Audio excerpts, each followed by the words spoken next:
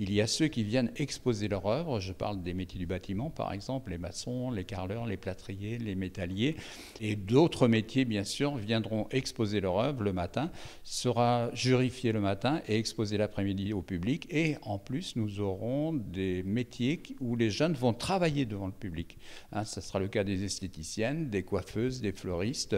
Nous avons aussi vente étalage, nous avons accompagnement service à la personne, électricien, électrotechnicien. Vous voyez, donc ça fait un panel assez intéressant de jeunes qui euh, vont pouvoir montrer concrètement leur travail puisqu'ils vont réaliser le concours devant le public.